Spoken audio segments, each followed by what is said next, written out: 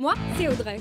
Ma vie est parfaite. Un appart sublime, une coloc géniale, un chien trop mignon et surtout mon poste qui me promet la place de numéro 2 de sa boîte. Non, ok, si je suis vraiment honnête. Ma coloc est une malade mentale, mon chien je suis sûre qu'il parle mais je peux pas le prouver, et mon boss est un sadique qui déteste les Québécois. Ce qui ne serait pas un problème si je ne cachais pas au monde entier que je suis une fucking Québécoise. Mon pire cauchemar serait que ma meilleure amie du Québec débarque à l'improviste. Et ben voilà, c'est la première chose qui va se passer dans cette série.